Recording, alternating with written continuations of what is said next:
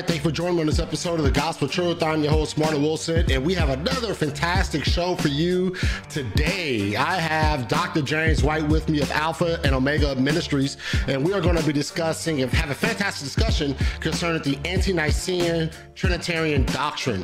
What's it about? How did it get started? What was what was going on during that time in church history that this was a prominent view or somewhat of a view that took place prior to the Nicene Council.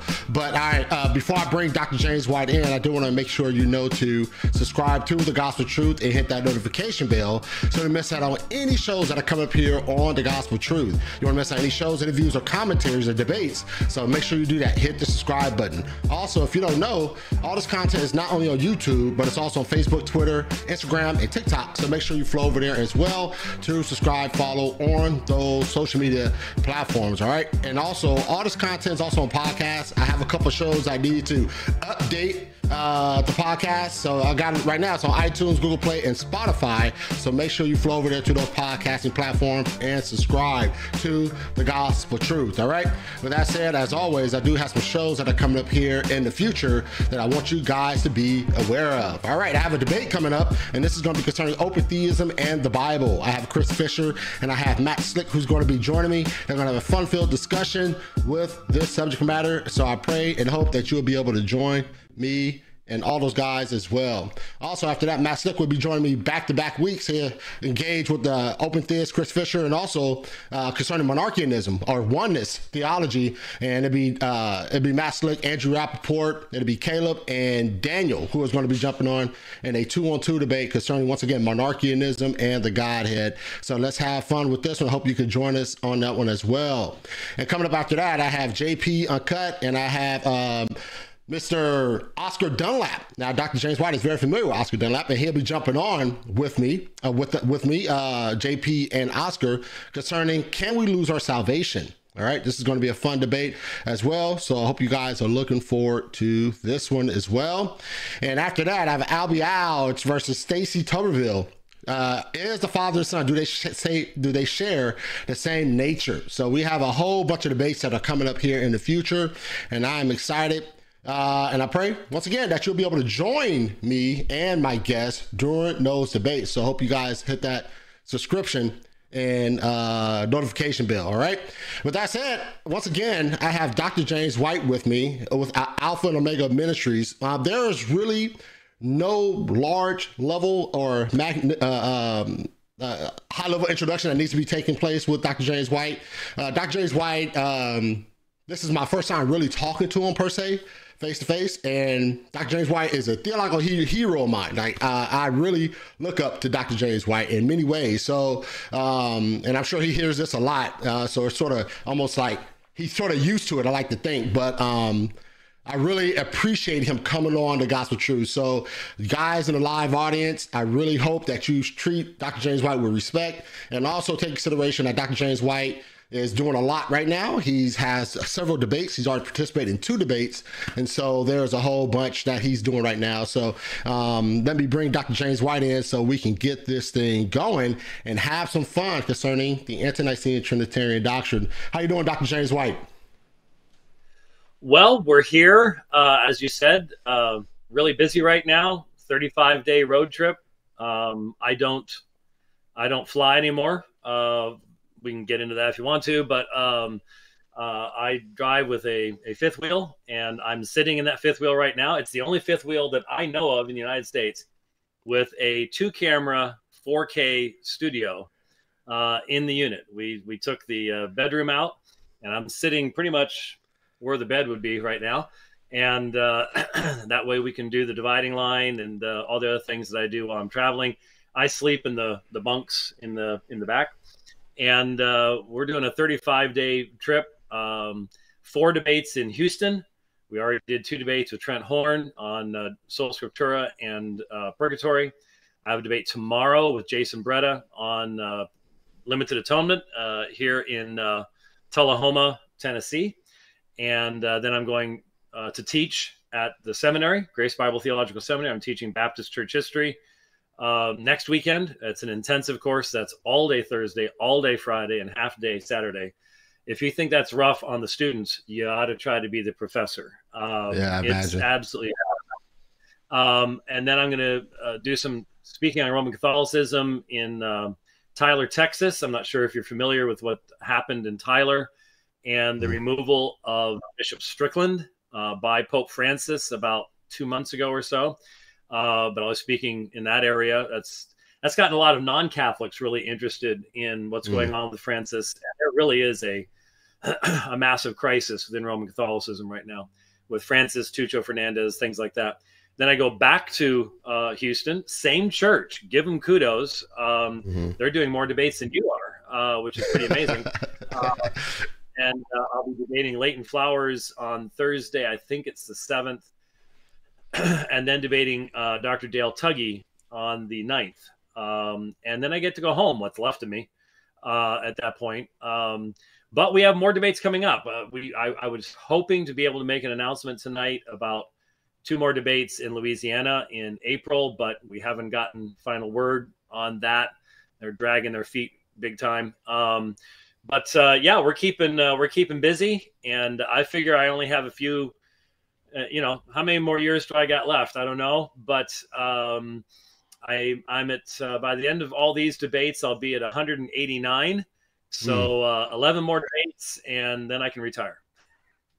Oh man! So you going? Are you really going to hang it up, Doctor White? You really? you really considering hanging it up the debates? The, the debates, man. I will. I will. Um, I hope and pray, and have been praying quite some time, that the people around me, um, my fellow elders at Apologia Church, uh, you know some of them. You know Jeff Durbin. Yep. Uh, You know Oscar. You know, and you, if you've if you've talked with Oscar, you know that w- it was an online debate that I did uh, with um, uh, Elder Rakah in, amongst the Black Hebrew Israelites that uh, started him uh, on his journey to faith. Um, he's just a wonderful guy, uh, a Yeah. great uh, deacon in the church, and uh, just a huge heart, a great, great guy. Anyway, um, I'm I'm hoping that the people around me uh, will tell me when I can't do this anymore, um, Mm. when it becomes obvious. Because look, uh, in sports, how many times do we see the greatest go one or two seasons too long? Yeah. and then it's sort of sad to watch them just sort of falling apart. Um, doing moderated public debate is um, uh, stressful and challenging, and uh, you eventually just get to a point where it's better to let the younger people uh, do that kind of stuff. So we'll see. I'd like to get to 200, um, but you know that's that's totally up to the Lord. Maybe who knows? 250. Um, but uh, we started in August of 1990, Mhm. and um, it's it's been a very fascinating journey. There was no internet, uh, there was no YouTube, uh, there was no none of that kind of stuff, and so debates were of a different uh, essence uh, back then than they are now. Yeah, yeah, yeah. Well, obviously, we're praying for you, Dr. White, man. Um, as I said prior to bringing you in, uh, you have definitely played a major part in my theological growth over the years.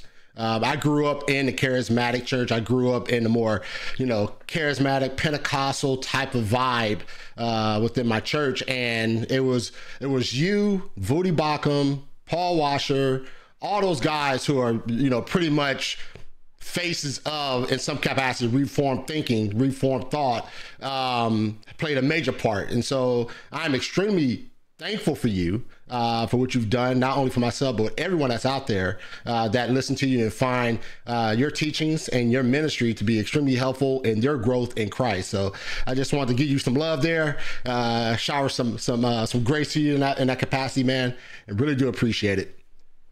I, I appreciate that, and it's interesting. Uh, back when I was still traveling overseas a lot, I think it was about 2018. Um, I, I was going to South Africa every year, and Zambia is not that far. And so one year I got to fly up to Lusaka and spend time at the African Christian uh, College there with uh, with Voddie. And he tried to set up a debate with one of the imams there in Mm. Lusaka. And the week before we were supposed to do it, the imam backed out, and oh. so uh, Voddie role played uh, the Muslim position, okay. and I'll never forget sitting there, and I'm I'm the the the desk was real close to the podium, and I look up, and if you've met Voddie, he's a mountain of a man. Okay, he's, he's big, and I'm just looking up at this huge guy next to me who's role playing the Muslim, and uh, I'll, I'll, never forget that. And by the way, uh, I preached at Grace Family Baptist Church Sunday morning, which was Voddie's old church there in Houston. So, mm. um, yeah, Voddie's a great guy, and uh, I'm glad we've all had something to do with with uh, being a blessing to you. Yeah, thank you so much. So we are here to talk about the ante-Nicene Trinity. Now, um, obviously, I'm gonna let you go in a little bit about where did all this come from? What what was going on prior to the, the Nicene Creed? What was going on during this time to where we now have sort of a category categorization of what the the pre and post Nicene Creed? What was going on during that time? Well, it's interesting that uh, you know when you when you look at the I, know I have a real nice background that I've used in my office a few times because I have the 38 volume uh, early church fathers set uh, along this this one uh, this one shelf and I know you can get those all electronically, but they don't look nearly as nice as the books do. I can assure you of that. And when you think about how those are er- arranged, they're arranged as ante-Nicene and post Nicene. So hmm. obviously, the Nicene Council in 325. And by the way, uh, I tell everybody if you ever take a church history class from me, uh, one of the questions will be when was the Council of Nicaea? So just memorize 325, and you've got a few extra points just right there. Uh, but clearly, the Council of Nicaea is a watershed for many, many different reasons. Most of the time, it's a watershed uh, because of the fundamental shift in the relationship between the church and the Roman Empire. Um, and so I, I, I want to, in some of our time tonight, do something that normally gets missed in online debates um, and things like that. The only way to meaningfully address the doctrine of the Trinity as it uh, finds different ways of expression um, is to do some church history, to know something about what was going on in that time period, and also to ask the question why do we believe in any of this? Why, why, why believe in the doctrine of the Trinity? That's actually somewhat of a argument even amongst reformed people right now I'm hmm. not sure if you're aware, but for about two years now, I've been in a bit of a, a ongoing struggle, um, controversy with people in my own, I mean, within my own camp, mm-hmm. uh, fellow Reformed Baptists. And the issue has been going to what is the source, what is the foundation of our theology, um, what you know, what why why do we believe what we believe? Is the Trinity, for example, a biblical doctrine? Or is it not a biblical doctrine? Is it a doctrine of tradition? Is it a doctrine that develops over time? These are all important questions that I seriously think uh, Christians need to be need to be aware of and to think through for themselves, because unfortunately, um, well, you've heard me say, I'm sure, over the years, uh, when mm-hmm. people ask me, what classes did you take in Bible college and seminary that were the most important in preparing you for the apologetic work that you do? And the answer to that question is is really is really simple. Uh, Greek and church history. history. Yep. um, Greek because uh, you know I'm not saying Hebrew is unimportant, but the vast majority of issues that are raised in apologetic context, whether from atheists or Mormons, whatever else it might be, are in the New Testament or in the New Testament's quotation of the Old Testament, and that's from the Greek Septuagint, anyways. So, Greek and then church history. And I'm professor of church history at Grace Bible Theological Seminary.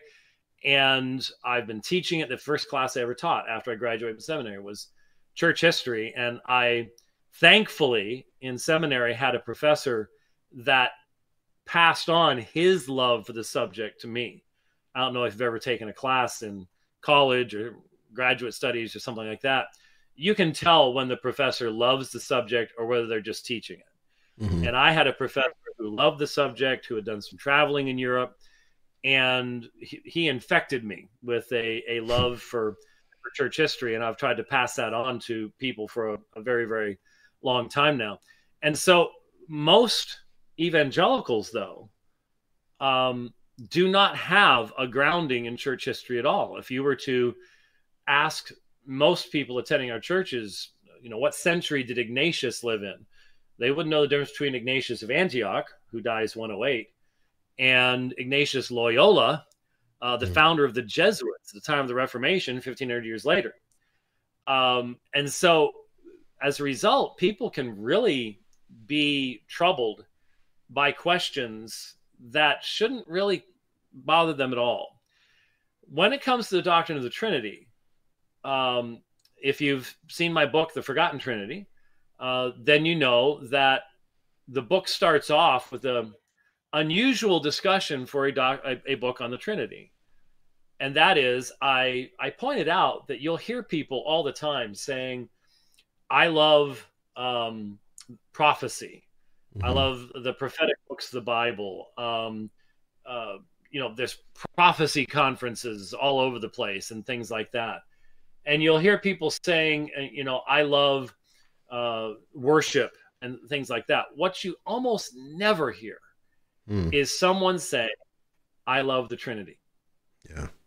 And I started off by saying my my goal is by the end of this book um, for you to love the Trinity and to recognize that this is this is something God has given to us. He has revealed to us uh, so that we can know Him and worship Him.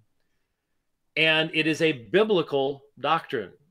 So uh, it didn't seem overly controversial to me in 1997 or so when I wrote those words to call yourself a biblical Trinitarian. It has become controversial since then in my own circles. Mm. I haven't changed my views. I've not been given right. any reason by anyone to think that I should. Um, but fundamentally, I believe in the doctrine of Trinity because I am forced to believe in the doctrine of the Trinity by three biblical teachings by monotheism, the fact the Bible teaches there's only one true God, by the fact that it teaches there are three divine persons, Father, Spirit, does not confuse them, clearly distinguishes them from one another. There's personal communication, use of personal pronouns, all the stuff that you'll have going on in the oneness uh, uh, debate that you mentioned earlier. and which I started doing back in, I think, I think my first oneness debate was in '99, if I recall correctly. Anyway, uh, with Dr. Sabin of the United Pentecostal Church. And then, thirdly, the quality of those persons, hence the deity of Christ, the uh, deity and personality of the Holy Spirit. These are the three biblical doctrines that, when you accept sola scriptura, that scripture is the sole infallible rule of faith of the church, and you accept tota scriptura, that scripture, that you need to believe all of scripture. Um, when you believe those things, you will be brought to the doctrine of the Trinity uh, those are the foundational elements. Now, what about developments, for example, in what's called post Nicene Orthodoxy? When you get to um, past Athanasius into uh, Gregory of Nyssa, Gregory Nazianzen, uh, Basil, uh, these individuals, what about all the, the language that they utilized and is not found in Scripture? it, how do you explain what happens between um, the last writing of the book of the New Testament, whichever book that was? I doubt it was Revelation, but you know maybe one of the epistles or something like that.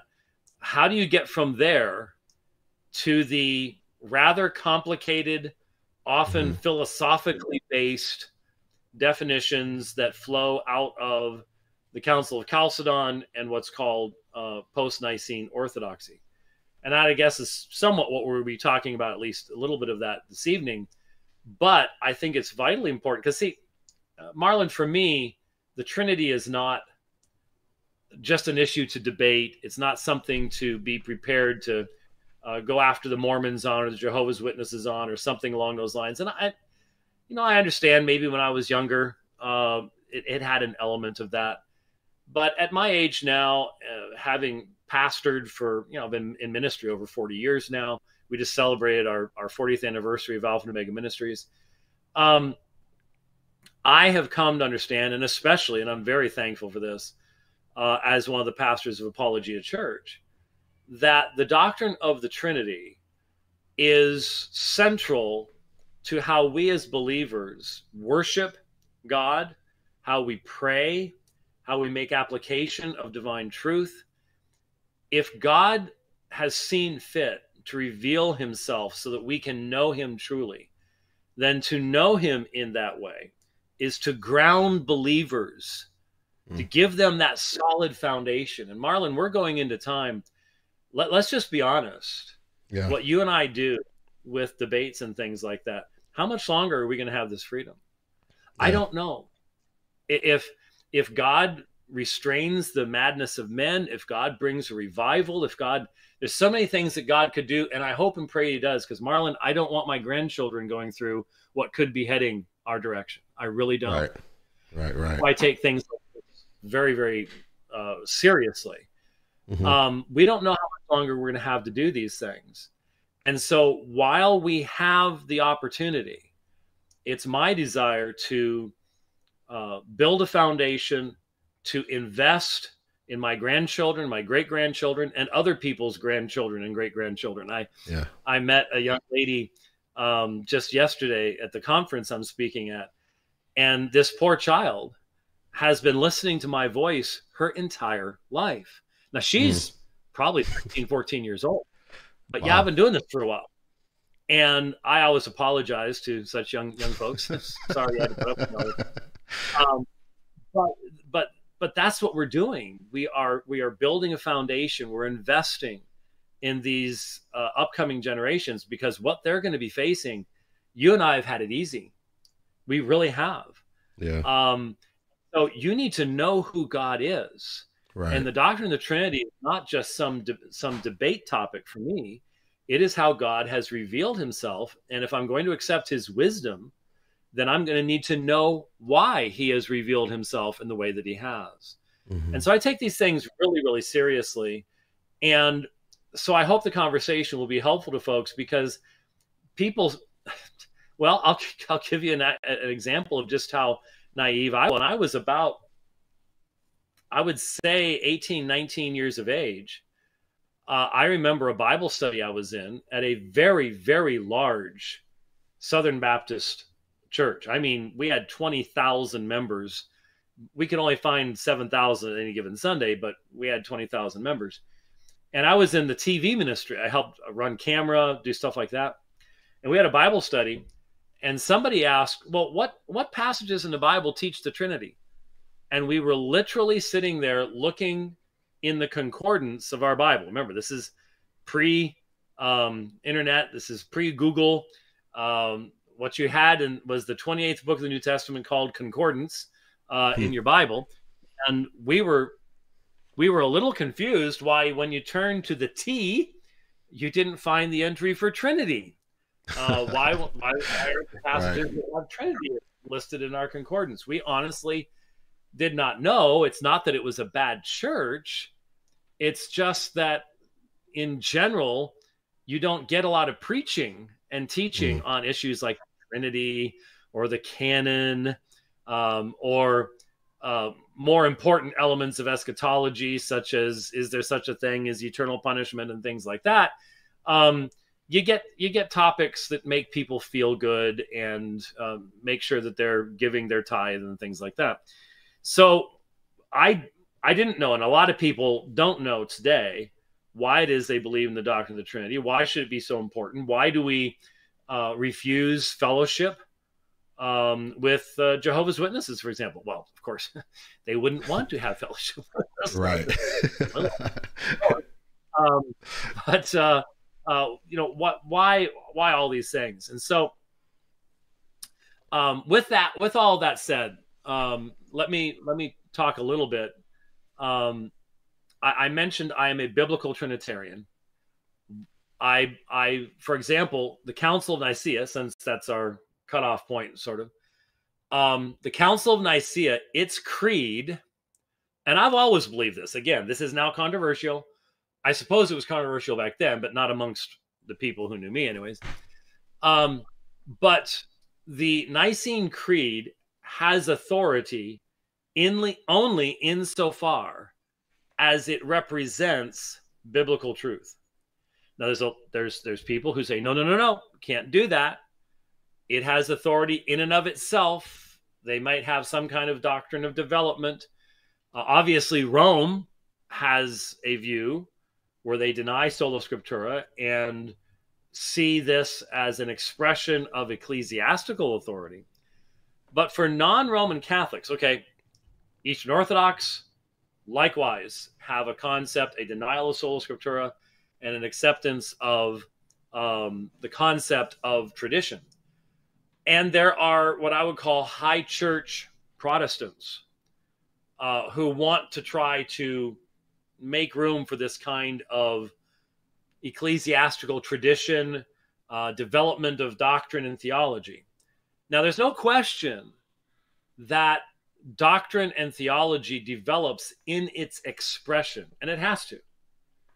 Um, we don't, most of us aren't running around speaking Koine Greek anymore or Latin, uh, which became the language of the Western Church after, you know, into the third century or so.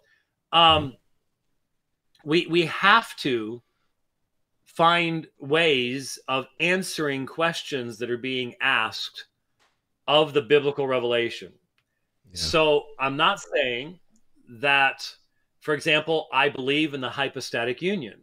It's not a biblical phrase. Neither is um, homoousios or heteroousios or homoiousios, terms that were thrown around at the at the Council of Nicaea so am i being consistent am i am i contradicting myself mm. to believe in the hypostatic union um, which of course is the idea that uh, in christ you have one person with two natures the hypostases the the hypostatic union is not an intermixture that would be the error of eutychianism uh, mm. it, it's not a replacement where part of the human is re- Jesus isn't truly human, and that part that's taken out is replaced by the divine. That's Apollinarianism. It's not a splitting where uh, you have Nestorianism, which could it didn't for Nestorius, but could lead to a concept of adoptionism or the idea that Jesus becomes God at a later point in time this is relevant to the term Theotokos, Mother of God, God bearer, all sorts of neat, fun stuff in early church history. There really is. Mm-hmm. Um, but I believe in the hypostatic union. Why? Because Scripture describes Jesus as one person with two natures. Uh, it, it and and because we know who Jesus is, we don't necessarily catch those places where he's described in that way. But the one that's always um, really impacted me uh, is the description that Paul gives of the rulers of this age. If they had known, they would not have done crucified the Lord of glory. How do you crucify the Lord of glory? Lord of glory is clearly a divine description, a, a description of a divine being. You can't crucify the Lord of glory unless the word became flesh and you have the incarnation. Uh, and so Jesus is is crucified in that human nature. Um, he gives that perfect human life as the God man, and so you you you believe in the hypostatic union, and as as creeds such as Nicaea or later, much more complicated and more complicated as to its history, the Chalcedonian definition, 451. Um, these have authority for me insofar as they represent and communicate biblical truth. If you say they have authority because they are ecclesiastical statements, then I have all sorts of questions for you regarding the canons and decrees that came along with these. Um, I don't see how any non Catholic or non Orthodox individual could accept, for example, the sixth canon of the Council of Nicaea. And 99.999% of Protestants have no idea what the sixth canon of the Council of Nicaea is, anyways. And the vast majority of humanity has lived and died without knowing what the sixth canon of the Council of Nicaea is. so most people, you know, I, I remember in, in seminary, it was sort of default to say that you accepted the first six, uh, first seven ecumenical councils. Now, looking back, looking at what's called the seventh ecumenical council, now I go, really seriously, you you you think you believe that? Um, but it was just sort of said. It was just sort of yeah, we gave authority to these things, but we never really thought through why, and we hmm. never really read what most of them said to have any idea about these things. So all this comes back to why we believe what we believe and how it's been communicated to us. I believe the doctrine of the Trinity is a divine revelation. It comes from God. Um, that gives its its highest authority.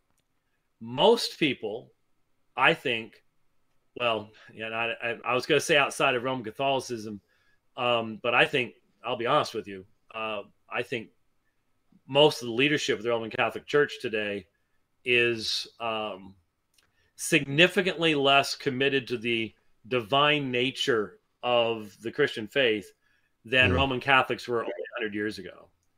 When, when I look at what uh, liberation theology is all about, and Francis is a liberation theologian, um, and how deeply Tucho Fernandez, the head of the Inquisition, has been influenced by these things, uh, I think I have a much higher view of divine revelation and the nature of the Christian faith than they do. Uh, mm. Progressivism can't give you. Th- there's no reason to believe in the doctrine of the Trinity if you do not believe that God has revealed Himself to exist in that way. Right. And the the Roman Church, uh, you know, back when I first started debating Roman Catholics in 1990, um, they would repeatedly say, "You can't get the doctrine of the Trinity. You can't get the doctrine of the Holy Spirit from Scripture." They don't say that as much anymore.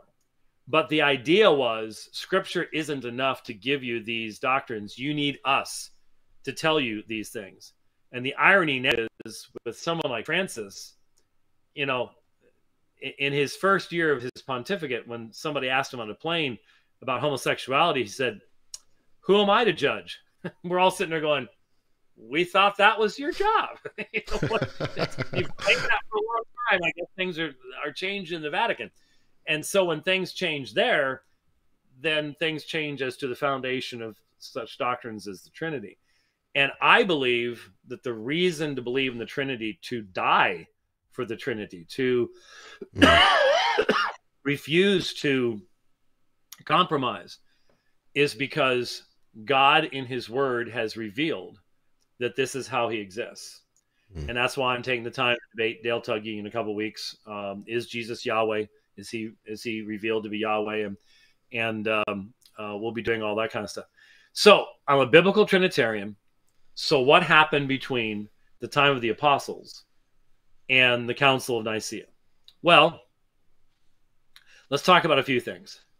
One of the things that I think um, probably most of your audience regularly sitting there with electricity and a beautiful screen and high speed internet and everything else. And I, I encounter this all the time, even from people my age. We realize how completely different communication was mm. in that time period. Um, let me give you an example. Uh, Justin Martyr dies in the middle of the second century. He is a he never took off the the pallium, the, the sign of the Greek philosopher. He is deeply influenced by Greek philosophy. And yet, uh, I would point to him as a person who believed that Jesus was Yahweh. He makes that argument in his writings. We don't have uh, everything that he wrote.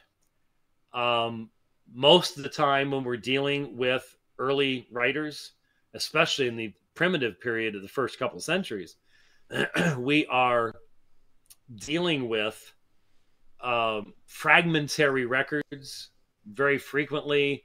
Um, for example, I, I, I, read a quote from Melito Sardis on the dividing line yesterday, and it comes to us from Eusebius. Well, Eusebius wrote in the in the fourth century, so that that original book's gone. We can't we, we can't look it up any longer. We have to trust Eusebius. I'm going to probably back my volume off a little bit. All right, no problem.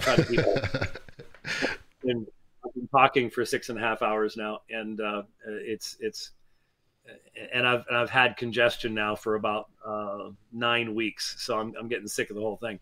Um, anyway, um, but uh, we very often we only have fragmentary records of what someone said.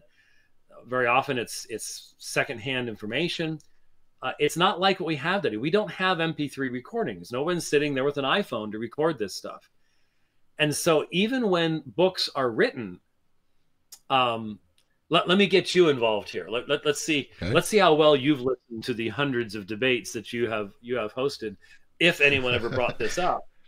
Um, what book of the New Testament, Marlon, do you think we have the fewest manuscripts of? The fewest manuscripts? Um, yeah. Thinking the fewest manuscripts. Well, don't, don't, don't people ask you questions during the debates?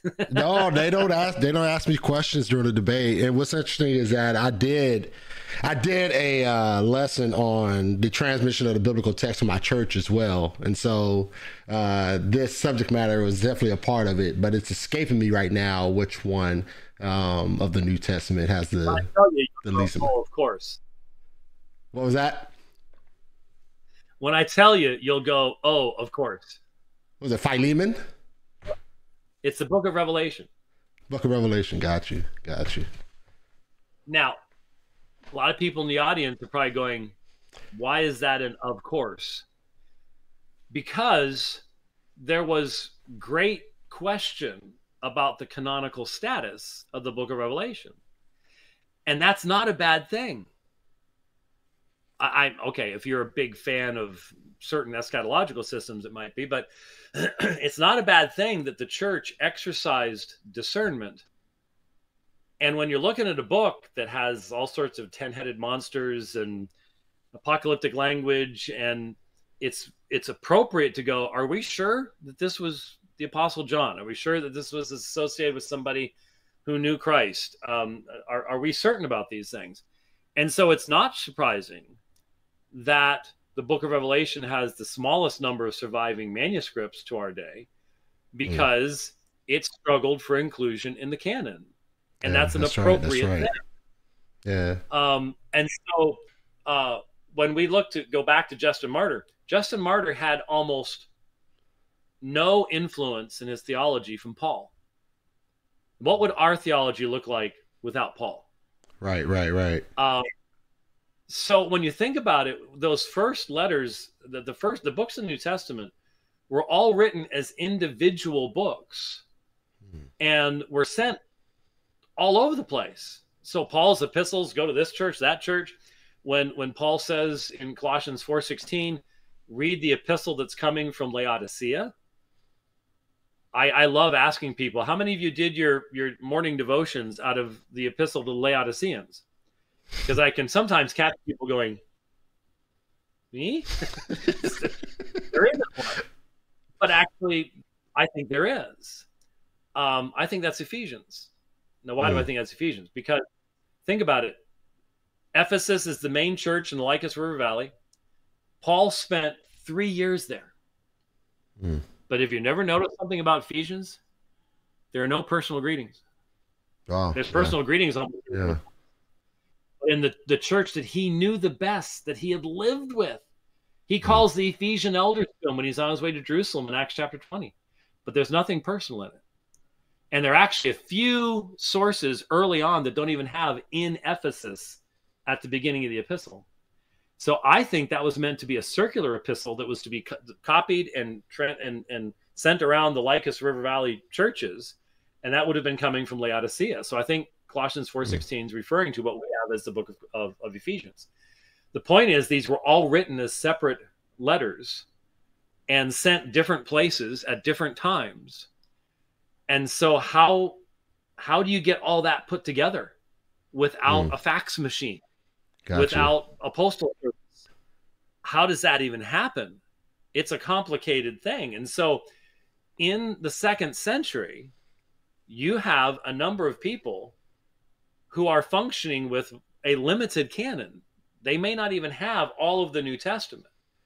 And I just ask anybody how, how what kind of an impact would that have on your theology yeah, to have yeah. much less than what we have today? Now, look, well, I don't know that I would necessarily be overly impacted by not having second and third John and Philemon. Okay, I think they're inspired yeah. scripture. They're important. I think there's some really neat things in it.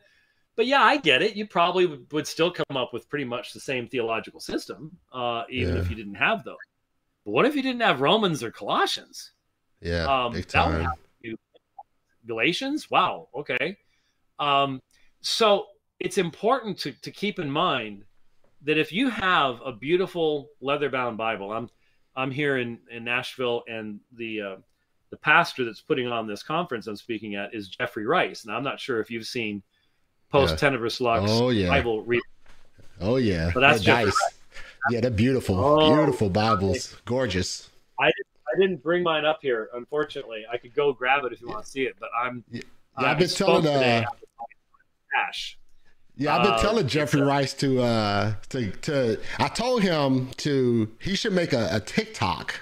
I know you're not big on that, but a TikTok with with him binding the Bibles and sort of you know explaining the gospel as he's doing it. You know, because I think that I, I, I appreciate. I had Jeffrey Rice actually on the show um, with uh, with with Braden Patterson. Braden was on there. Jeffrey was on here, and they were debating a couple non-Calvinists concerning the, the, the doctrines of grace. And um, I mean, I, I, I'm, I, I, I told him he hasn't responded, but I told him that I'm gonna. Say I got a Bible. At, I got a Bible that needs to be rounded, you know, and I want him to do it, you know, because uh, his Bibles are absolutely gorgeous, absolutely gorgeous. Oh, they are, they are, and um, so it, this is his conference, and Um, I was preaching from, uh, I don't know if you've seen the Johnny Cash Bible, but it's all in black. The page edges are black, the leather's black, the ribbons are black. Dope. Uh, it's a giant print uh, Legacy Standard Bible, and it's it's gorgeous. It's wonderful. Um, nice. But anyway, if you have that, you need to realize that you have a blessing and a privilege that 98% of Christians have. I mean, uh, even at the time of the Council of Nicaea, we have two manuscripts from around that time period called Codex Sinaiticus and Codex Vaticanus. And they would have cost thousands and thousands of dollars in our modern money to have had produced at that time. And almost no Christians would have had the, the, the money to do that. Only a church could maybe mm. come up with that kind of money for a single copy. And then it's only going to be at church. It's not, not something you're carrying around. The thing's huge. If you've ever seen uh, either one of them. If you've seen Codex Sinaiticus, the uh, Hendrickson Bible Publishers does a facsimile, and it must weigh 50 pounds.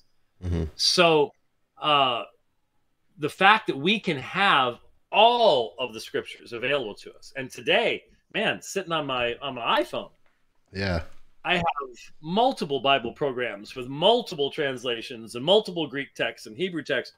There's never been a time in history yeah. when we've had the amount of information available to us that we have today. Mm. And people don't realize that they they they anachronistically project back to that early time period that everybody back then had the same material that we have today and that's just simply not true. Even copies of the Old Testament in Greek or Hebrew would have primarily been in churches and things like that uh, an individual Christian wouldn't have them. And that's why, for example, when uh, Jerome translated the Latin Vulgate um, at the in the late 300s, early 400s, beginning of the fifth century, and he more accurately translated the the, the story of Jonah. Uh, Jerome learned Hebrew, and so when he translated Jonah, he accurately represented the the gourd uh, that grew up over Jonah's head, and he used a different description than had been found in the Greek Septuagint, which was really the church, the Bible of the early church, the, the Old Testament text. And when his Latin translation was first read uh, in Carthage, it resulted in a riot. And the reason was most people only knew scripture as they heard it read in that fashion. They, they wouldn't they wouldn't be able to own their own copies.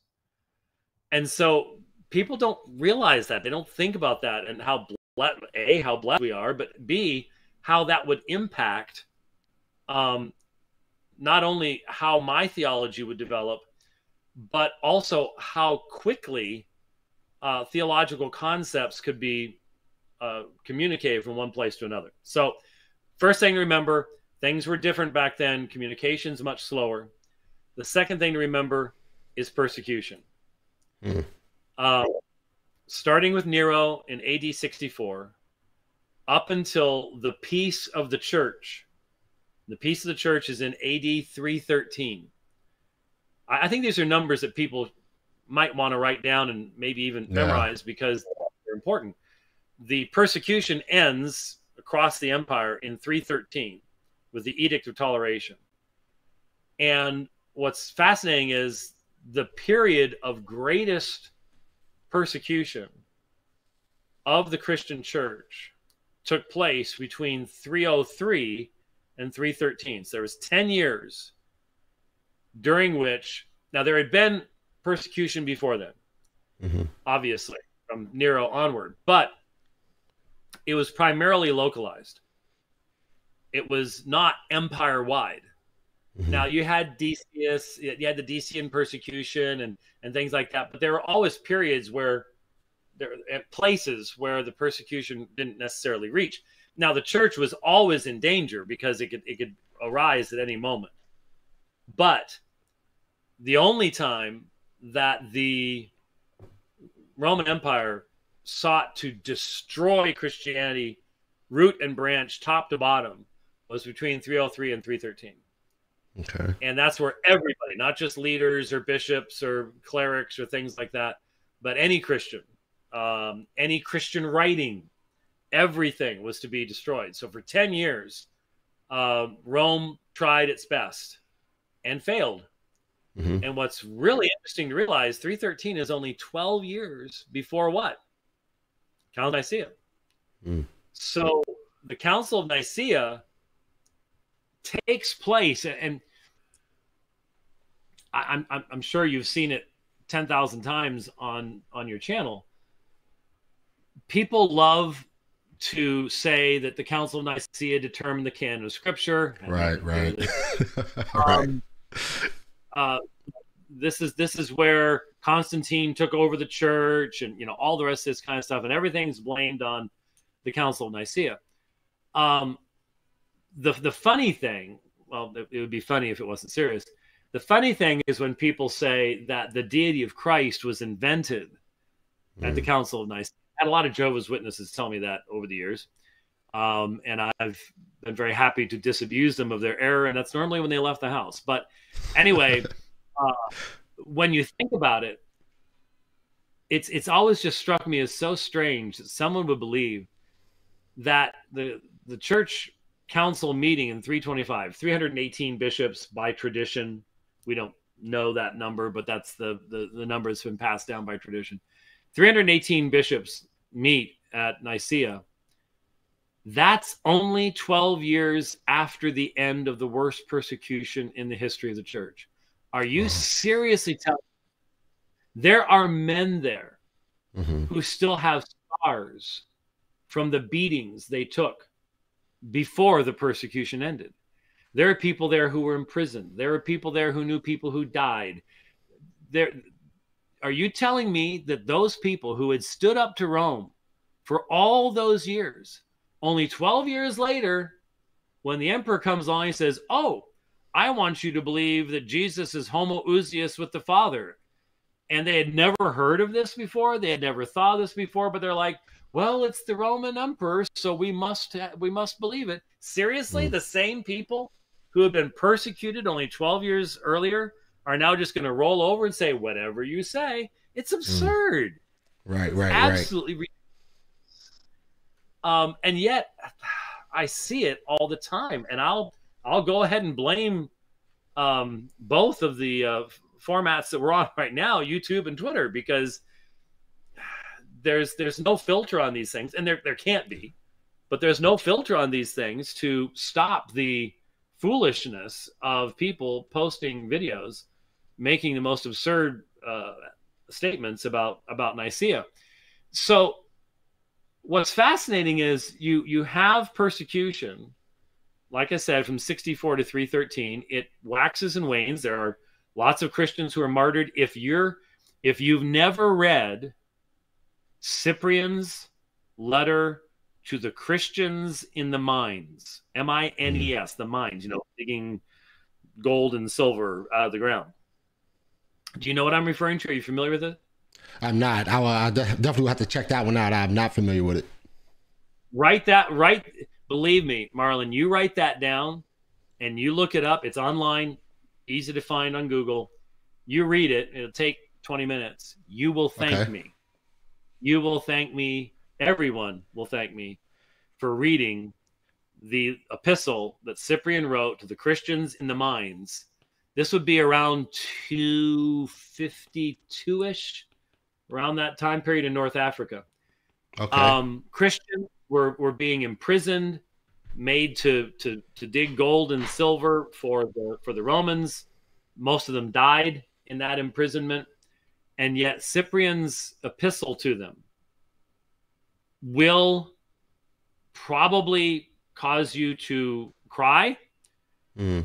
and to cry out to God for forgiveness for how often we complain about things when our forefathers endured so much more than we could ever imagine for the sake of the cross. Wow. Um, it's it, it's truly fantastic and so this is taking place. And, and Cyprian, Cyprian's only a believer for I, I have to look it up, but I think about eleven years, and he dies as a martyr. He was decapitated by a Roman soldier. Mm. Um, he sealed his his testimony with his blood, and so you you you know that you know that's fifty that's sixty years um, prior to the end of the persecutions. There was still a lot of persecution. I mean, think about it. the the yeah. the uh, Soviet Union is about seventy years. Mm-hmm. So this is a long period of time. We're talking centuries that the church persecuted wow, wow. and faced this kind of, uh, of of trial and difficulty, and yet, despite those external persecutions, tremendous amount of energy is dedicated to discussion of theological issues. Mm-hmm.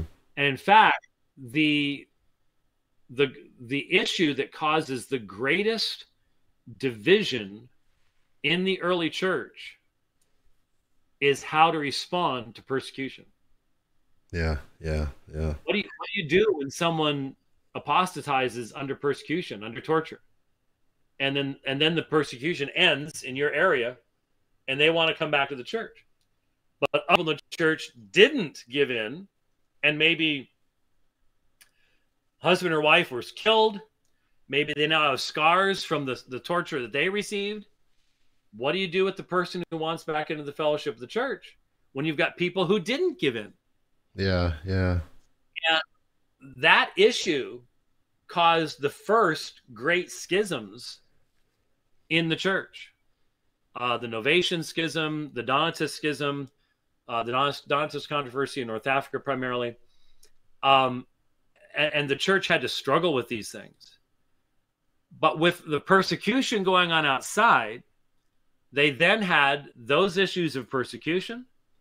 They were dealing with the Christological issues Um, even in in the second century in the East, patripassianism, modalism, what we would call today oneness. You've got a debate mm-hmm. coming up on that. Yes, sir. Um, that was being dealt with in the Eastern Church, not so much the Western Church. Mm.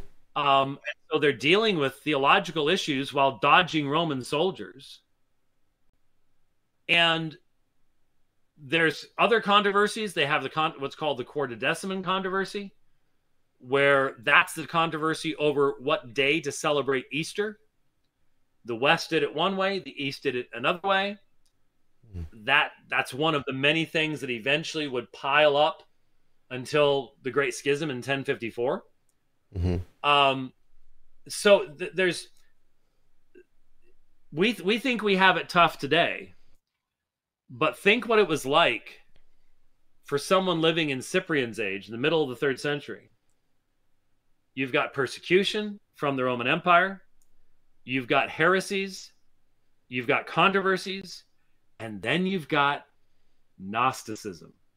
Ooh, okay. And I know Gnosticism. Gnosticism. Everyone likes to call other people Gnostics, and normally everybody who calls other people Gnostics has never read any Gnostic works themselves. Have no idea what it's actually all about. Um, the the original forms of Gnosticism coming out of the East, I, I think we we see evidence of the New Testament warning about them in First John and Colossians, especially. But then you have, um, and, and I'm, I'm, i really can't go into a lot of detail right now. It would take us uh, a lot of time to do it, but um, mm-hmm. I, I think it is helpful. And I've done this on my program. I've done story time with Uncle Jimmy, where I will read some of these Gnostic books, like the Gospel of Thomas, so that people can really hear what is being said mm-hmm. and go, wow, that's really weird. Why do people claim so much for this kind of stuff? But then in the middle of the second century, you have the rise of what's called Valentinian Gnosticism. And Valentinianism is a specific, purposeful attempt to create a fake Christianity that is fundamentally different. You're taking Gnostic concepts, you're removing some of the stuff that you know the Christians are just going to go, you're nuts because the Gnostics believe that, that Jehovah, Yahweh, was Yaldabaoth, a hmm. demiurge. Demiurge. Um, and they would uh, ridicule the, the foolishness uh, that uh, there's there's one Gnostic gospel where uh, he is mocked for saying he's the only true God with a quotation from the book of Isaiah. And Valentinianism was a huge challenge to the early church. Huge challenge to the early church. I mean, think how would you deal with a religious system that is trying to look as much like you as possible, but fundamentally undercutting the foundations of what you believe by saying Jesus is an eon and stuff like that. And you don't even necessarily have the entire New Testament yet. Right, right, right. That's not easy stuff to do. And so people need to recognize that during this time period, there are very, very important controversies that are being hammered out. Mm-hmm. Um, and without necessarily uh, unanimity of opinion on everything either, but they are they are facing these things and they are seeking to provide answers to these things and that requires the development of a vocabulary. If the Gnostics come along and they're asking questions based upon Greek philosophy, then you need to be able to answer those questions. And the and so the question for us is, did they answer them consistently with mm-hmm. biblical revelation, or one thing is obviously true: individual early church fathers and many of them as a whole over time um, made mistakes and started creating traditions that were not biblical. So it, yeah. it seems incredibly obvious to me mm-hmm. that, for example, the biblical view of men and women both made in the image of God, um, the uh, concept of uh, what marriage is, the holiness of the marriage situation, it's very obvious that um, beginning even at the end of the second century in the 180s and really exploding into the 200s, you have the rise of what are called the Desert Fathers and the beginning of monasticism. And that leads you to people like uh, Clement of Alexandria, Origen, who had a lot of seriously unbiblical ideas that influenced a lot of people. And then you start building on that tradition and building upon that tradition. And what was a small error down here becomes a big error up here. Got you, got you. And this this is happening during this this time period as well. So it's it, it's a complex period. We could wish to have so much more documentation than we have. Mm-hmm. Um, so you're very often you're trying to judge somebody on fragmentary material. Uh, Origen, for example, had somebody following him around at all time, writing down everything he said.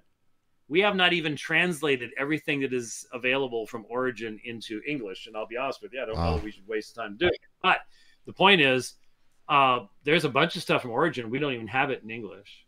Mm. You have a lot of stuff from people like Augustine. Okay, that's true. But then there are other people like Melito Sardis who ended up on the wrong side of a controversy, the Quartodeciman controversy, that we only have fragments from. And man, the fragments we have are awesome. His uh, Paschal sermon, uh, I quoted it in the Forgotten Trinity, where he talks about Jesus as uh, at what calls Jesus God, just like Ignatius does. Mm-hmm. Um, but then the whole the whole issue being um, he who hung the earth in place is hung in place. He who created the tree is fixed upon the tree.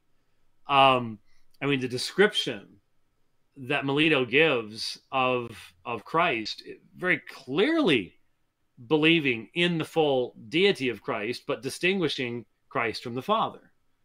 Um, and this is again in the second century. It's very very early. Um, so you have all that kind of stuff that you can you can look at and try to draw some conclusions from. Mm-hmm. But back to our subject, uh, because I see the clock is is running, and so's my voice. Um, yeah, I hear you. It's only gonna last so long. Um, what then about the doctrine of the Trinity? Well, if it's a divine revelation, then it was true all during that time period. The only question is, how is it being expressed, and should we expect early writers in this time period to utilize all the same uh, language and terminology that we utilize that has been hammered out over time to to accurately express biblical truths.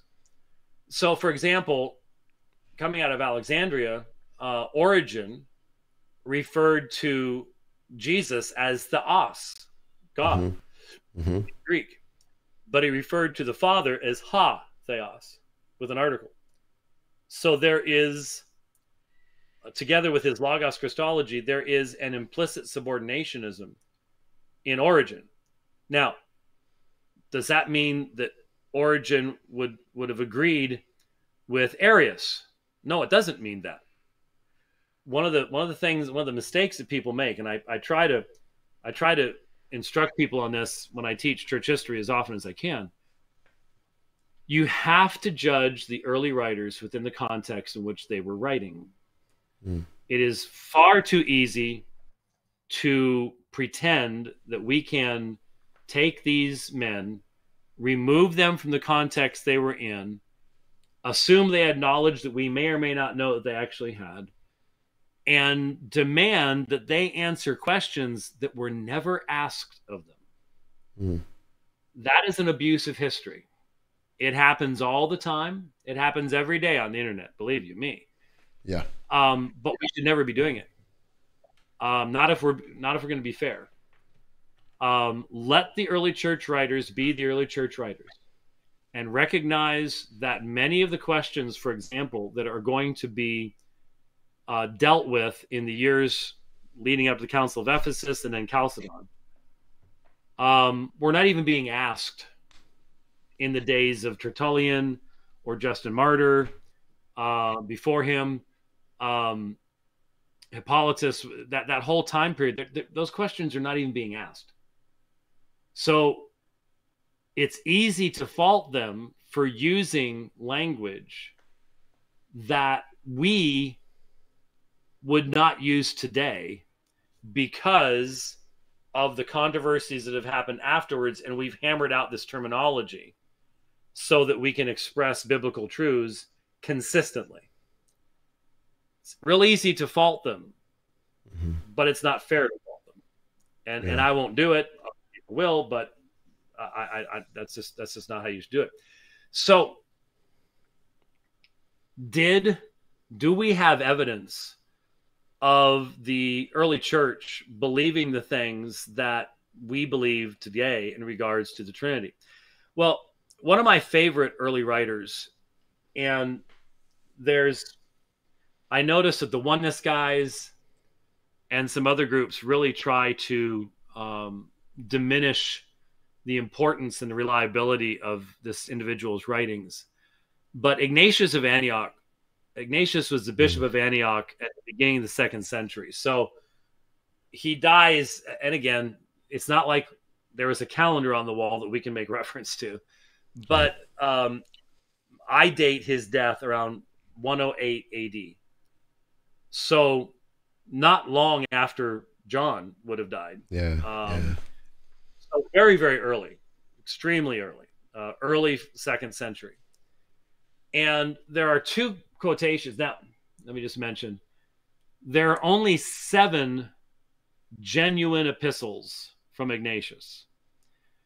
Um, one thing people do need to know is that, especially in the first five, six hundred years, there was a lot of forgery going on. If you wanted to sell books, you would yep. attach someone's name to your book that was well known. And so there are pseudo Ignatian epistles uh, that were written 100 years, 200 years after Ignatius that exist out there that were not original with Ignatius. And in fact, the Watchtower Society, back in ooh, about 1985 or so, uh, put out a Watchtower where they tried to deal with early church history. And when they dealt with Ignatius, the only materials they quoted from were the pseudo Ignatian epistles. They didn't quote any mm. of the hmm. original ones because they Ignatius called Jesus God over and over and over again. They don't mention any of those. It was gotcha, it was gotcha. purpose, clearly purposeful. I I wrote an article at the time. I was I somewhere on that time I was um yeah it was late late late 80s I became scholar resident at Grand Canyon University and I wrote an article called Scholastic Dishonesty in the Watchtower mm. and uh, it may still be on aomin.org. Anyway, there are seven genuine epistles from Ignatius that he writes as he's going to Rome to be martyred. And we can learn a lot from these epistles. We learn, for example, there is no single bishop in mm. Rome at this time. Hmm, it's interesting. Um, and in fact, Rome does not develop a single bishop hierarchy until about 140 AD. They okay. didn't believe for the first 80 years of their experience that they needed to have a single bishop called the Pope uh, because there wasn't one. It's made up later on. Mm. But in Ignatius's letter to the Ephesians, he gives us two, and they're fairly closely closely connected. One's Ephesians seven, one's Ephesians nine, and both of these are just amazing to me. Um, let me give you Ephesians 7 first. Okay. There is one physician of flesh and of spirit, generate and ingenerate, God in man, true life in death, of Mary, it could be first from Mary, but from Mary and from God, first passible and then impassible, Jesus Christ our Lord. Mm. Now, this is 108. Listen to the Christology there. there is one phys- physician of flesh and of spirit, sarkikos kai pneumatikos, genetos kai agenetos, generate and ingenerate, and anthropotheos. That's about as close as you're going to get to God man. Mm. God in man, and anthropotheos, true life in death, both from Mary and from God. Hypostatic union. That's Mhm. that's Chalcedon. Mm. And yet that's 340 years before Chalcedon. Mm. Both from Mary and from God, first passible and then impassible. And there's a lot of discussion as to what Ignatius is focusing upon incarnation, death, burial, resurrection. It depends on how you're going to interpret him. Jesus Christ our Lord. So here he doesn't then stop and you and and go, now let me explain all these things to you. He expects the church at Ephesus to understand this stuff. And hmm, which church did Paul spend so much time in? Which church Yeah. in the in the seven churches in the book of Revelation is clearly commended for its maturity and its groundedness and its knowledge? Ephesus. Ephesus. Yep.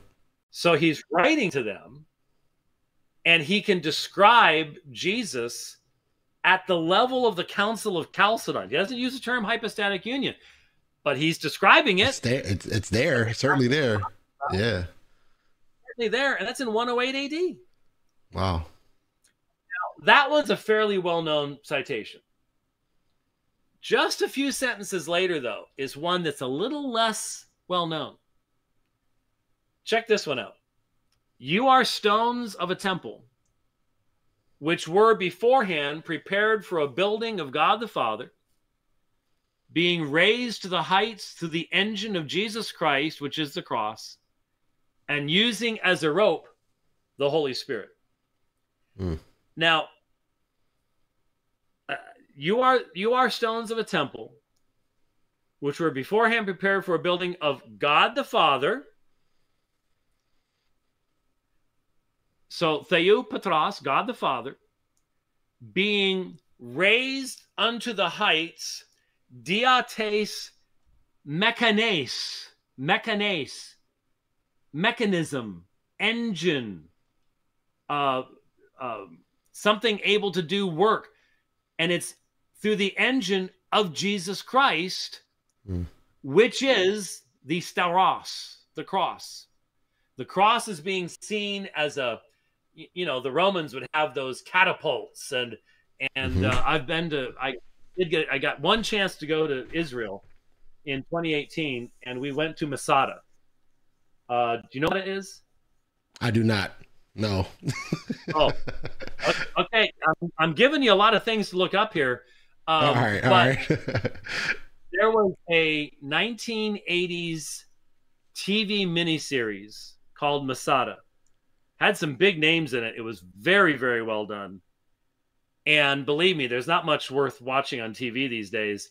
That's worth watching because it's a true story of 900 Jewish rebels surrounded by a Roman legion in Herod's palace up on top of this impenetrable force, fortress on this the edge of the um, Dead Sea.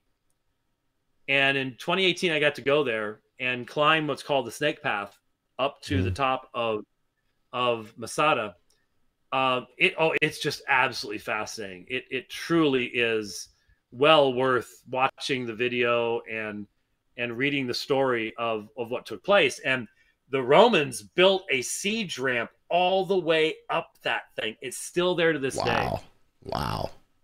and the mechanisms that they would use to raise this stuff that's what's being pictured here Hmm. uh, by ignatius and he's saying that the building of god the father the the mechanism that's pulling these stones up and building this temple to god the father is jesus christ the cross of jesus christ is Mhm. the one that's that's how you make these stones Wow. and how do you get them up there using as a rope the holy spirit wow. now wow. again we are used to um, hearing in the name of the Father, Son, and the Holy Spirit. And, you know, at Apologia, we do the, the benediction uh, each Sunday night after the service. And frequently, if, if Jeff preaches, I'll do the benediction. If I preach, he does the benediction. Um, but I'll do something like, you know, we put our, our hands up and I'll go um, something along the lines of, uh, may the may the grace of the Lord Jesus Christ, the love of God the Father, and the fellowship of the Holy Spirit be with you all. And all God's people said, Amen. And so we have the benediction at the at the end of the end of the service. And so we're used to hearing this language. But we need to recognize when you hear it this far back in non-biblical material, here is someone who is putting together in the closest relationship God the Father, Jesus Christ, and the Holy Spirit. Now, I've often tried to explain to people, and there I, I know there are some people who disagree with me on this, but I I stand with someone like B.B. Warfield, uh, who I learned so much from on the Doctrine of the Trinity back when I was in college and seminary. Um,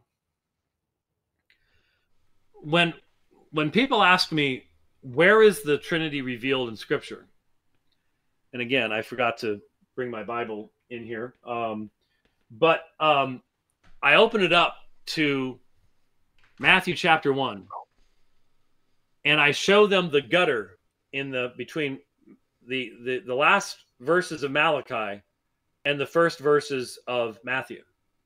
And I go, there is where the doctrine of the Trinity is revealed. And they look at me and go, You're weird. I go, well, think about it for just a moment.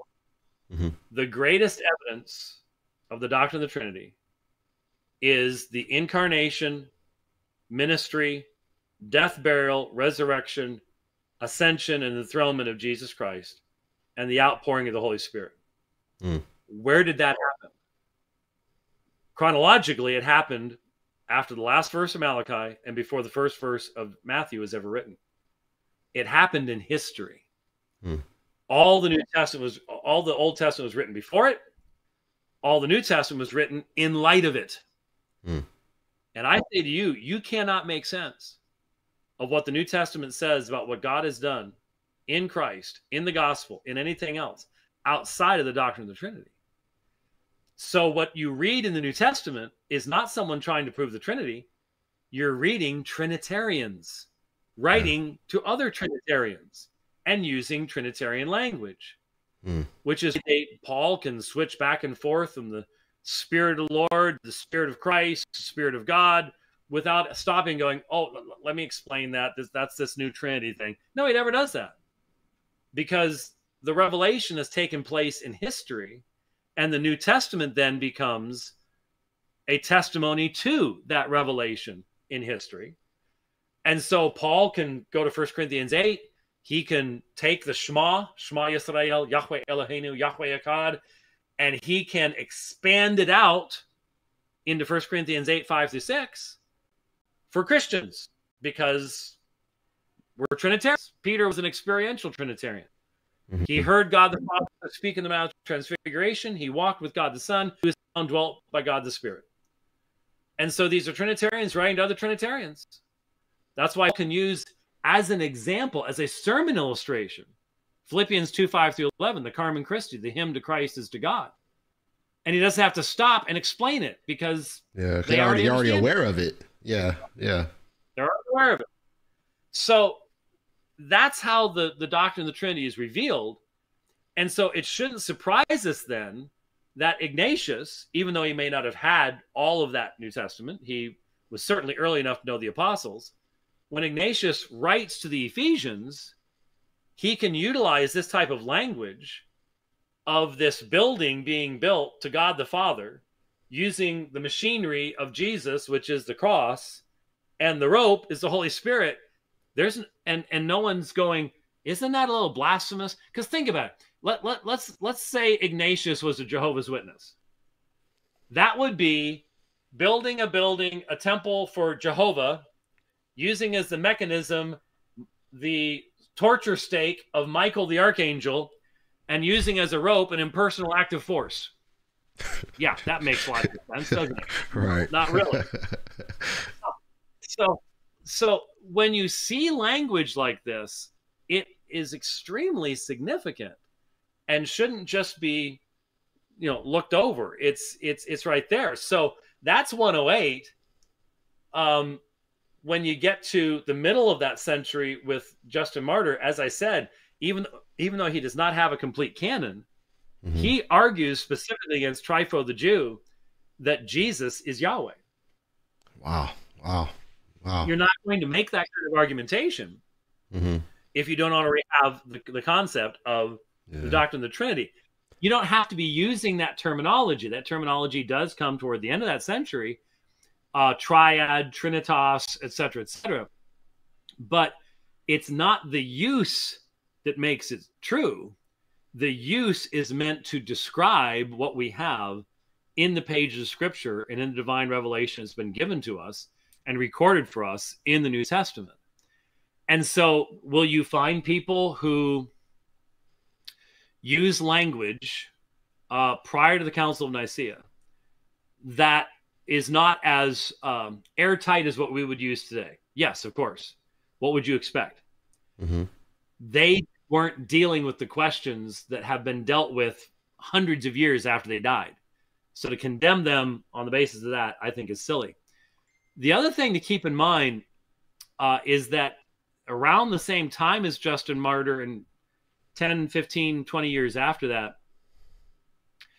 um, the East is dealing with a theological controversy the West isn't really dealing with patripassianism, modalism, what we call oneness teaching, and again, the teaching of the United Pentecostal Church International today about who Jesus is is a bit different than the modalists of the ancient world, because um, there were lots of there was lots of variations amongst them, and they had different understandings of the Son and things like that. But the denial of the existence of three divine persons was an issue primarily in the East uh, in the middle to second century. Why is that important? Well, it seems uh, there's things.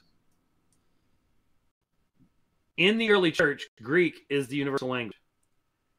Then, beginning with Tertullian, Latin begins to take over as the primary language in the West.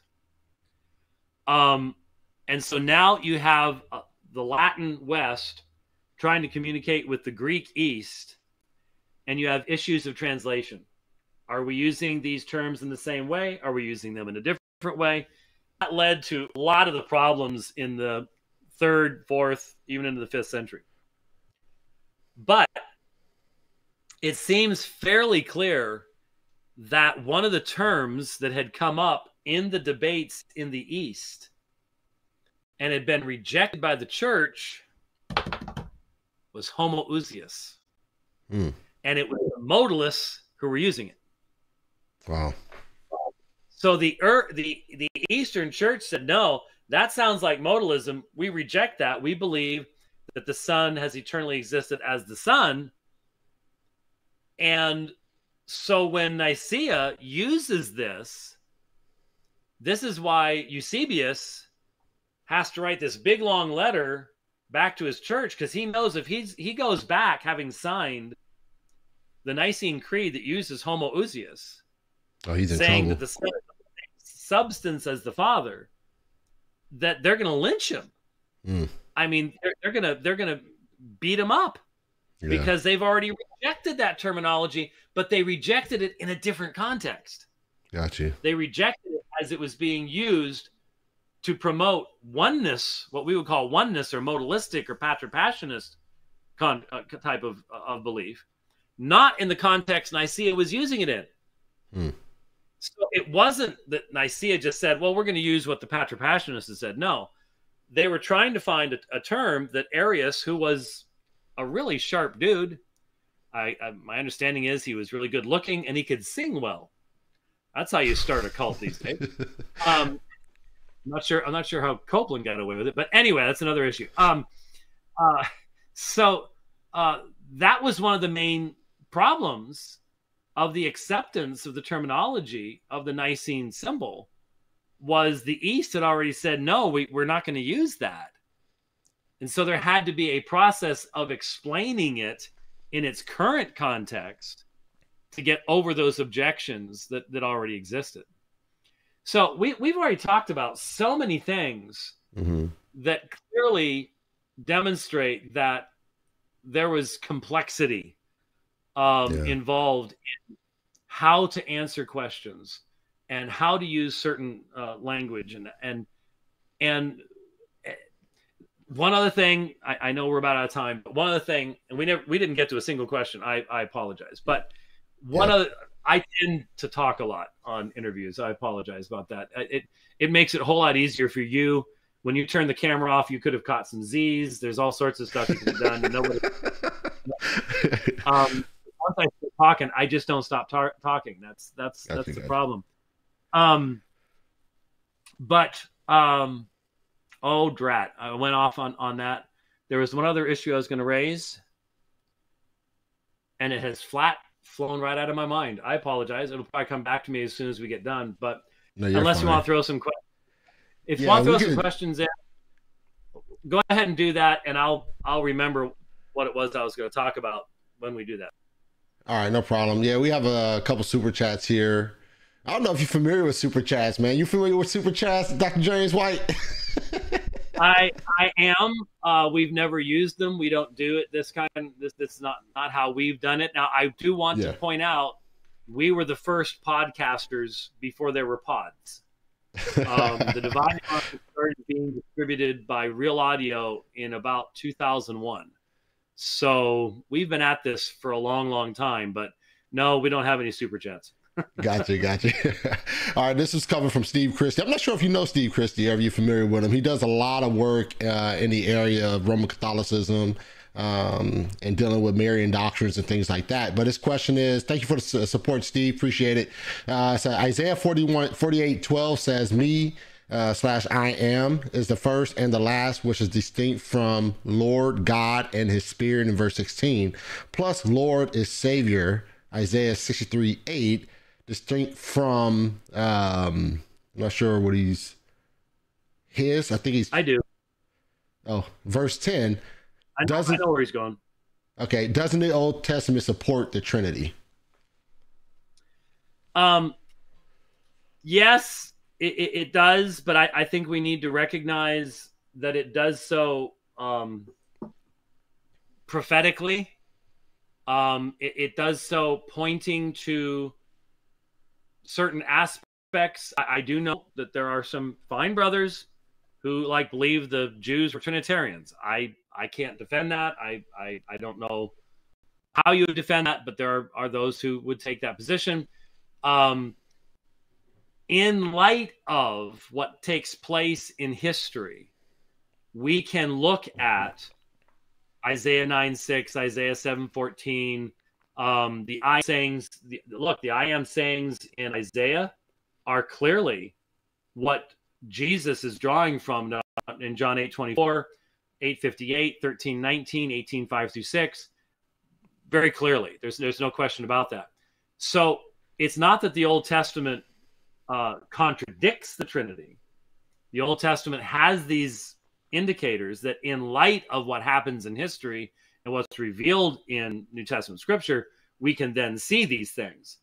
Um, but I'm very hesitant when people go beyond that to say, and that means that the Jews were themselves Trinitarians, because uh, until the incarnation, I just don't think you'd have the sufficient clarity to be able to recognize what those passages were referring to. All right, all right. Uh, a couple more questions, Dr. James White, then I'm gonna let you go. I know you need to get some rest, man. I don't want to hold you too long. Um, let me. He's like running real slow. The why, but all right. So this question is coming uh, actually from a Unitarian, um, and he is uh, debating on the gospel before. This is Andrew Griffin. Uh, question: You you mentioned the need for future generations to have God's wisdom. Is this the same wisdom as Proverbs eight? And do you believe wisdom there is a person? So this is part of the Unitarian argumentation against the deity of Christ to try to say that since God's wisdom allegedly is created and Jesus is identified as God's wisdom, that Jesus must be created. Um, again, this Jehovah's Witnesses have been using that one for a very, very long period of time. Obviously, I wasn't even addressing that topic. Um, we're talking about God's wisdom, as in the Holy Spirit of God helping. I was talking about my grandchildren, great grandchildren, to understand the foundations of God's revelation and God's truth. Uh, but in response to this particular question, the biblical answer as to whether creation, I'm sorry, wisdom is created and therefore a, a creature uh, lesser than Yahweh uh, is pretty clearly answered two ways. A, God cannot be unwise, and therefore wisdom is eternal with Yahweh. And secondly, the clear teaching of the New Testament is to the eternality of the Son. Um, they can try to mess with Colossians chapter 1, but Colossians chapter 1 clearly teaches that Jesus is the creator of all things, that he's eternal. Um, he's identified as Yahweh, as we will demonstrate in two two weeks from tonight. No. Yeah, I think it's two weeks from tonight. Anyways, it's I think the 9th of March uh, in uh, Houston when I debate Dale Tuggy on is Jesus identified as Yahweh. Uh, so we will we will lay all that information out uh, in the debate, and everybody will be able to watch online. Yeah, definitely, definitely. A couple more, and then you're you're done, Doctor White. I know I I'm holding you in here a little bit. Um, and here's a question, another super chat. Thank you, Red Pill Christian, for the super chat. I'm a Trinitarian. Can you give me a good response to the oneness on being the ones on being baptized in Jesus' name versus the Father, Son, and the Holy Spirit? Yes, you should buy a book called The Forgotten Trinity by James White. and, uh, read, read the discussion uh, therein from 1998. Um, yes, uh, the the the oneness error here is the assumption that in the book of Acts, when it says they were baptized in Jesus' name, that this was the actual baptismal formula. The baptismal formula is given to us by Jesus in Matthew 28, which is why some oneness people try to deny the originality of Matthew 28, 19 through 20, even though from a textual critical perspective, that's impossible. In Acts, all they're saying is this was Christian baptism. They were baptized in Jesus' name. That is, they they are identifying with the Christian movement and taking Jesus Christ as their Lord and Savior. It's not the baptismal formula that's given in Acts. That's in Matthew. Uh, the Acts passages are simply telling us that this was Christian baptism uh, over against. There were lots of other baptisms um, uh, out there, but they received Christian baptism. So the oneness folks try to get rid of Matthew 28 and shrink things down to being baptized only in Jesus' name, they've got it backwards. They they need to recognize what they're focusing on was a general statement of Christian baptism. The specific baptismal formula is found in Matthew 28. All right, and this will be the last question, Dr. White. Here, um, another super chat coming from Lego. My ego, I me. I don't know if that's a reference to letting go of I am to I am. Um, but Lego Lego Miami says, "Hey Doc, I'm wondering what you have to say about the fact that that the early church fathers seem to be more anti-Nicene rather than modern day Trinitarians. Should we look at Tertullian as being an error?" Yeah, I'm not sure what they mean. Seem to be more anti-Nicene. Um, ante-Nicene means before Nicaea, not anti as in against Nicaea.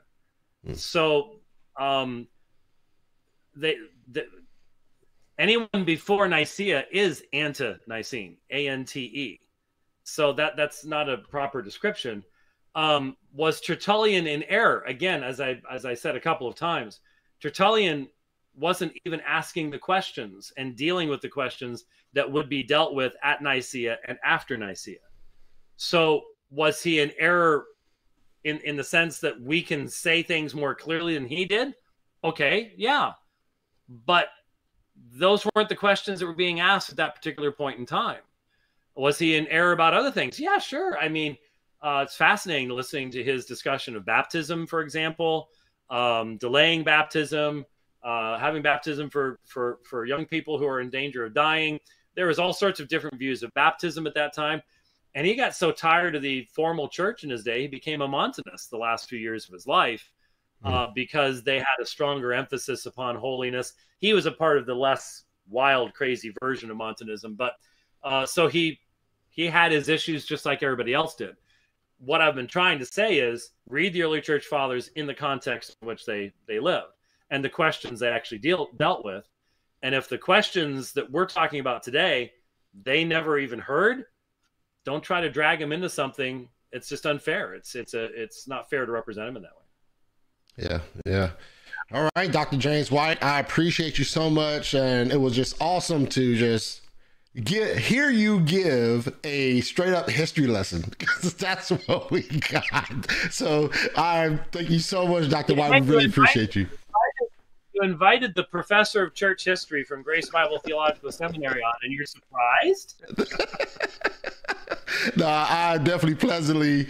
I, it was a pleasant time, Dr. White, man. I really appreciate you, man. And I think, obviously, through all the emails I've sent you over the years, I think it's like two years I've been emailing you to get you on. But all the emails, you know that I really uh, desire for you to come on and give us a rundown. Um, and this particular subject matter, I think, is very important. And so I'm just thankful for all the work you've done, everything you're doing for us. And I pray that God will continue to give you strength to continue to press forward and do your thing, man, because uh, you're a blessing to the church, Dr. White. I just want to let you know that, man. Well, I appreciate that, and the prayers would be appreciated. Like I said, this is a long trip, and um, I can't seem to get over this stuff in my in my chest, and there's other fun stuff going on. All I can tell you is, and I, am starting to see some white in the beard there, uh, brothers. So you're not ah. all that far behind me, um, but um, and after after the after the first letter, first number turns to six, everything falls apart. That's just all there is it, to it. So that's it. Um, that's how it goes. yeah, prayers appreciate. I appreciate. it. All right, no problem, Doctor White. Go get some rest, man. I'm gonna let you go. All right, take care. God bless. Thank you. God bless. All right.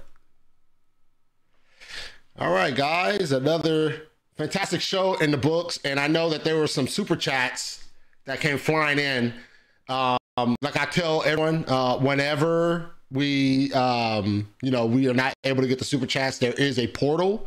Um, I don't know the portal off top of my head, but there's a portal where you can uh, ask for a refund uh, for your funds, right? Um, if you say, well, I didn't get my question asked, so I want my money back. No sweat off my back, no hard feelings. I totally get it, totally understand. But if you do decide to uh, uh, hold on and say, you know what, Marlon, go ahead, keep it.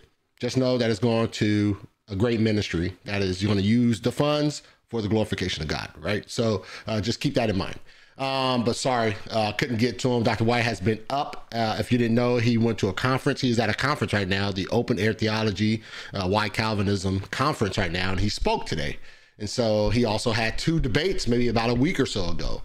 And so you can imagine a man of his age, and he's pulling a uh, a fifth wheel um, trailer uh, in his travel. So he's not flying, he's driving all over the place. So you can imagine the amount of uh, stress and amount of fatigue that he is experiencing um, as of right now. Um,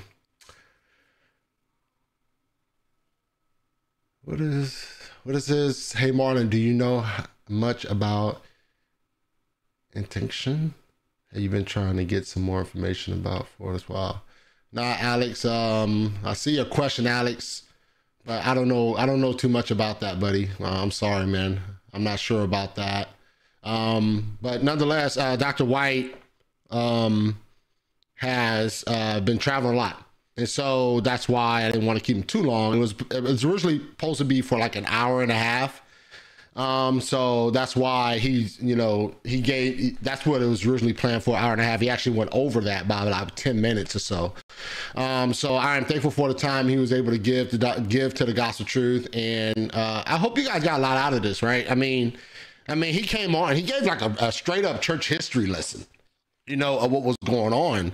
Um, and if you guys were not following what he was saying, I think if we had, if we were able to like sort of summarize everything that he was saying into maybe one sentence, two sentences, that the reason that we had the this situation or the belief of of what they believe prior to the Nicene Creed, uh, the Nicene Council, should I say, um, was because of the lack of develop, the lack of resources. One being the full biblical text, right? Um, and how that could have uh, influenced the positions that many individuals had during that time of church, a uh, church history. Um, so that played a factor in it. The fact of persecution and the fact that Rome went out their way to try to destroy everything that was Christian played a factor into uh, the lack of development of a theological position in during that time. Um, so all these different um, all these different elements and variables definitely played a factor in the the what some individuals and during that time believed.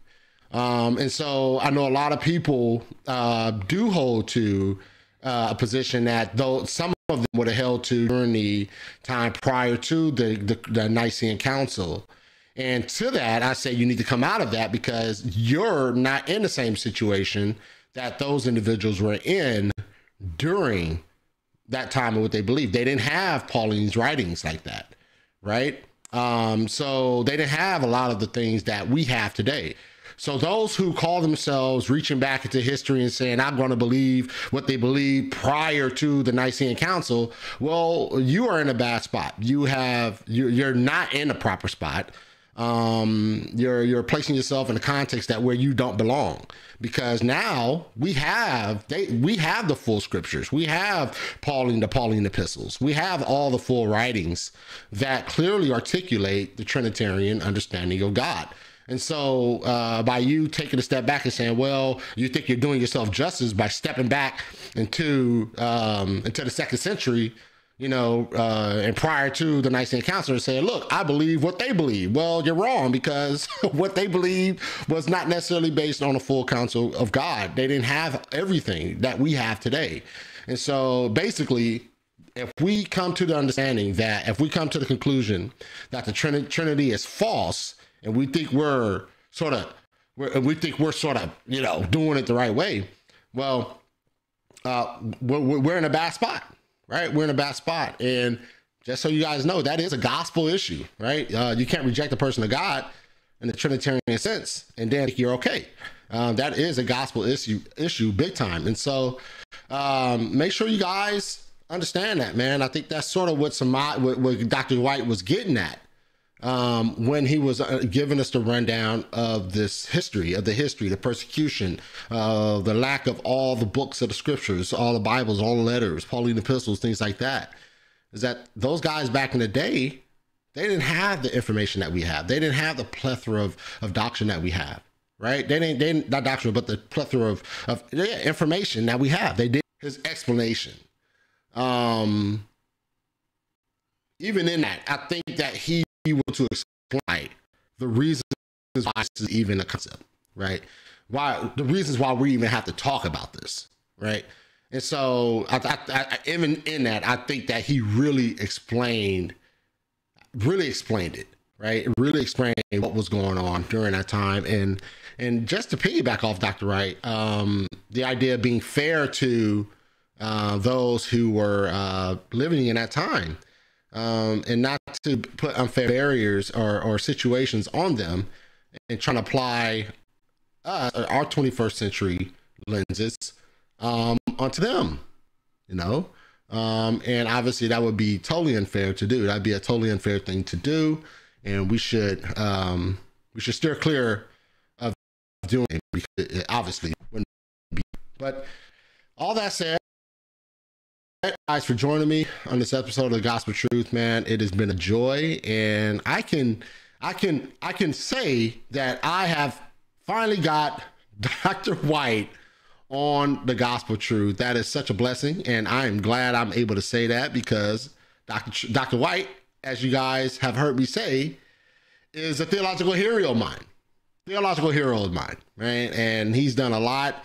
I read his books. Um, I read his, his, his, his articles, and he is definitely. I watched the Dividing Line, right? Um, and so I, I'm definitely, definitely uh, grateful for Dr. White. All right.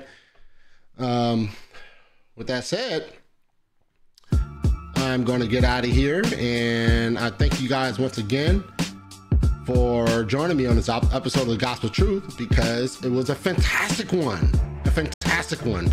And make sure that you guys are subscribing to the Gospel Truth. Do not walk away from this channel without subscribing to the Gospel Truth and hit that notification bell so you miss out any episodes, any debates, interviews, commentaries, anything like that. Right? Anything like that. And um, yeah you know, look out for all the shows that are coming up here in the future.